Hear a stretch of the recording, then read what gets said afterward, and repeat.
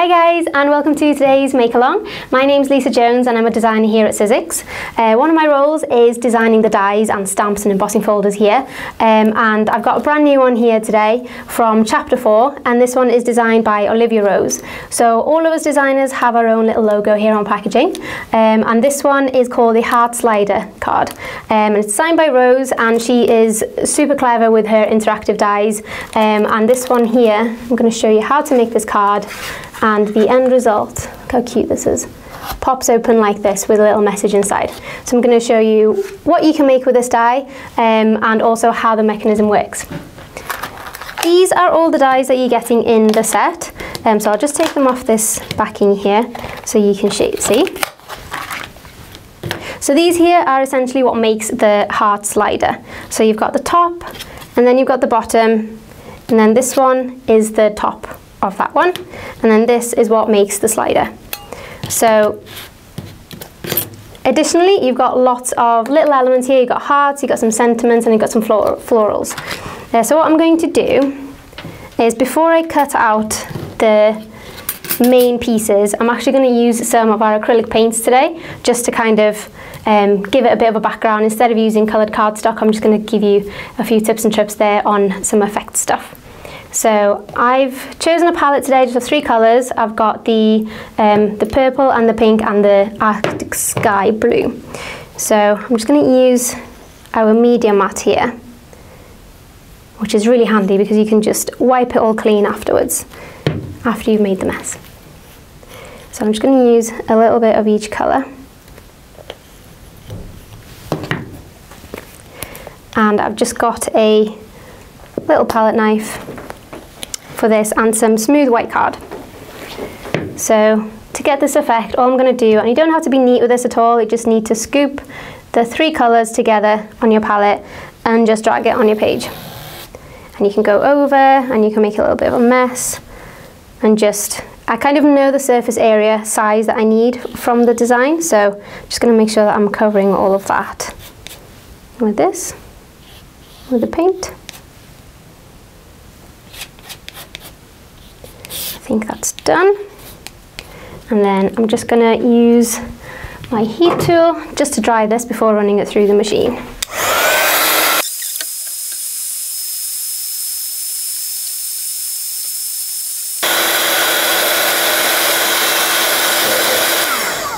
Okay.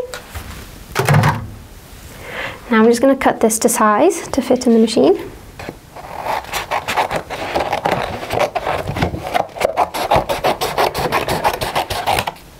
So the parts of the die that we'll be showing is obviously this top bit and then this one without the mechanism pieces. So this is essentially the back, so you don't really need to worry about if you're getting all of the effects on that.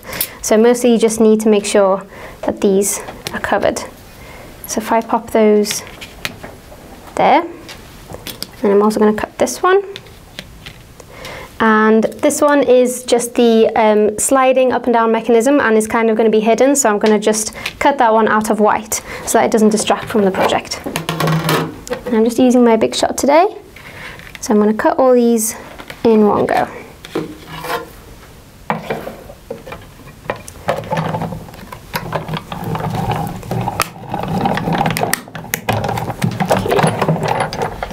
Bring these into here so you can see.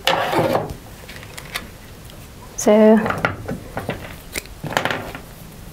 this one is the slider, just in white.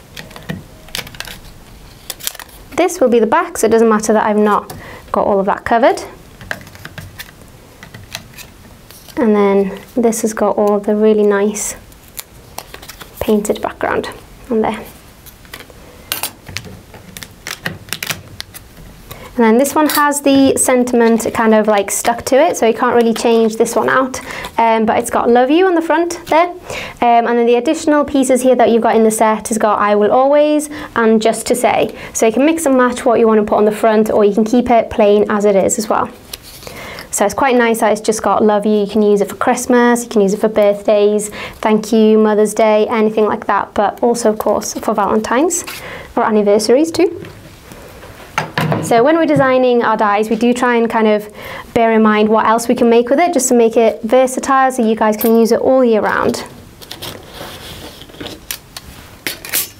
Okay, so just move these out of the way.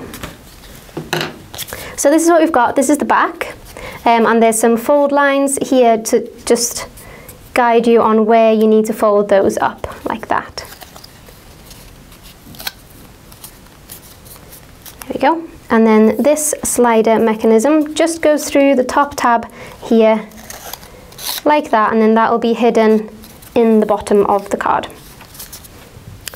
So to position this in the right place so that it pops up, you just need to kind of make sure that this is at the bottom and then that is going to need to be in line with that like that. And then you can see that there's a little bit of the tab sticking out the top. So that is intentional, so you can be like, oh, there's a tab, this opens, something happens. Or if you want to, you can cut it down shorter so that you've just got the top of the heart. So that's up to you. And then just going to use the adhesive roller to pop a bit of adhesive there in the middle.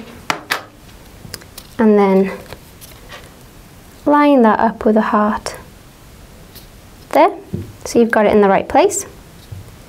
And then that is going to slide up to there. So I'm going to put it back. And then you just need to hide all of this mechanism here with this top bit. So I'm going to use the adhesive roller again, just on the tabs that we have here.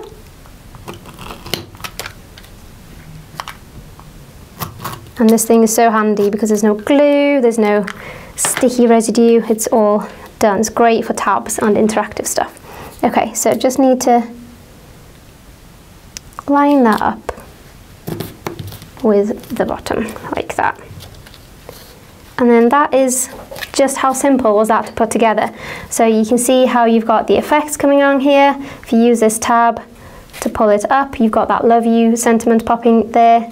And then like I said, you can use the other stuff on here, but I wanted to keep this one quite plain um, for this design. So what I've got is just a plain white square card.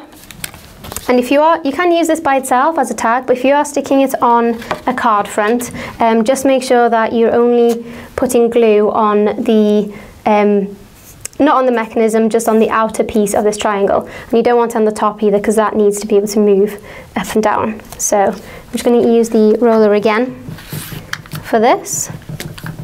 So I'm just going to have it just across the edges.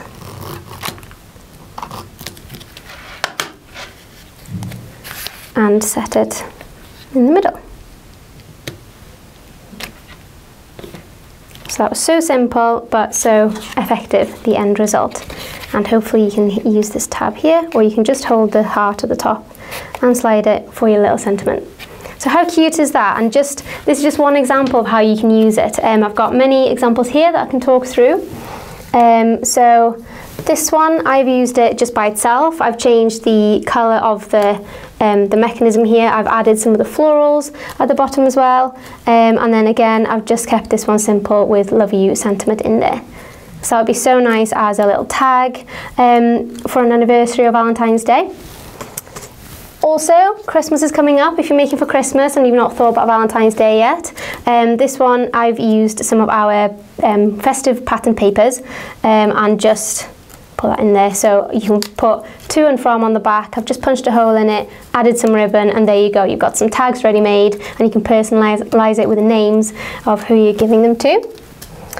Um, then Like I said, we do try and give some versatility, so we have put a lot of um, extra elements in the set. So we've got some flowers, like I said, we've got the sentiments, and also some hearts. And these are just little techniques and like additional little cards that I've made using some of the extra elements. So this one, I've used the paint um, effect here as well, the smeared paint, and then some of the hearts and foliage pieces. It's pattern paper at the back. This one, I've just hand drawn some stems and used the um, hearts in there to make a thank you card. So, like I said, all occasions covered.